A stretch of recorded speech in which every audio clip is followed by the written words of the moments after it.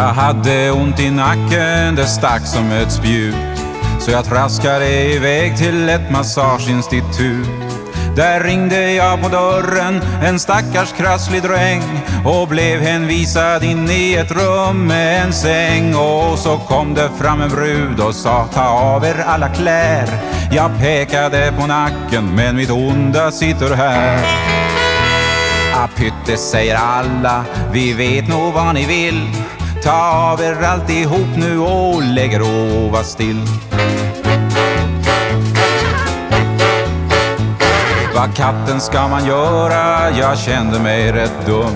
Där låg jag alldeles naken och glodde i ett rum.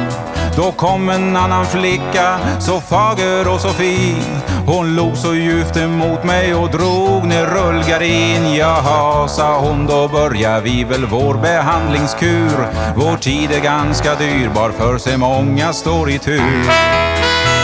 Säg till om ni vill ha det på något särskilt sätt. Ja, massera mig i nacken, det verkar stup i ett.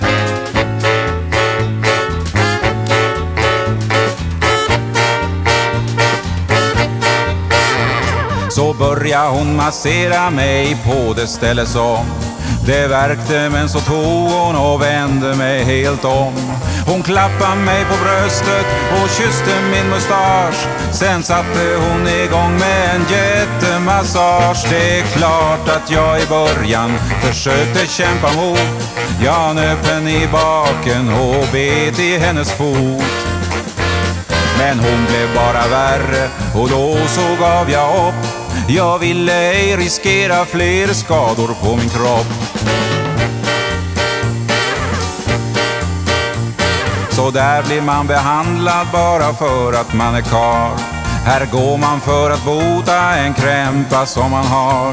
Och så får man arbeta tills man är alldeles slut. Jag var så färdig efter att jag knappast hittade ut. Jag hade inte väntat att bli så där bemött. Och när jag traskade hemåt då var jag pank och trött. Det onda i min nacke, det har jag ännu kvar. Så jag får väl beställa ny tid om några dagar. Ja, jag får väl beställa ny tid om några dagar.